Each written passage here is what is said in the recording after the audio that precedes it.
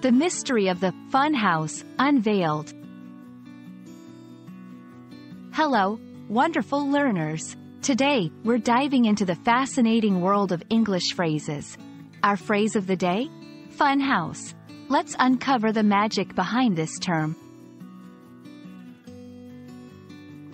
A fun house is a popular amusement park or carnival attraction. Picture a building filled with various entertaining challenges. These might include mirrored walls, moving floors, and obstacles designed to surprise or confuse visitors. The idea? To provide fun by challenging individuals to navigate or find their way through the maze-like structure. Fun. This word is quite straightforward. It's all about enjoyment and amusement.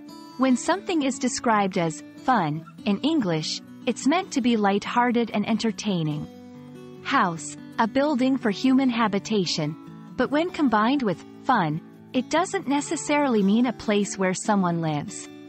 Instead, it refers to a building or structure where the activities take place.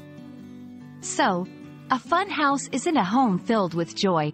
It's a building designed for amusement.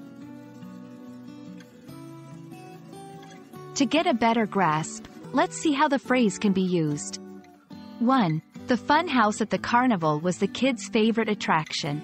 2. I got lost in the fun house for a few minutes before finding my way out. 3. The mirrors in the fun house made me look so tall and thin. So, there we have it. The phrase, fun house, isn't as mysterious as it sounds. It's just another fantastic example of the playful nature of the English language. Hope this video shed some light on the term. Stay curious, and keep exploring the beauty of English.